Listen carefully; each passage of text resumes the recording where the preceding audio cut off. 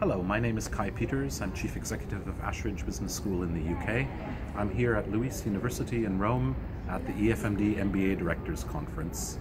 It's been really interesting so far, just discussing all of the factors that affect how business curriculum should be designed, looking at the challenges that we face as schools, and really having a nice chat with colleagues to get their perspectives directly. So, and the weather is lovely, so everything is great. Thank you.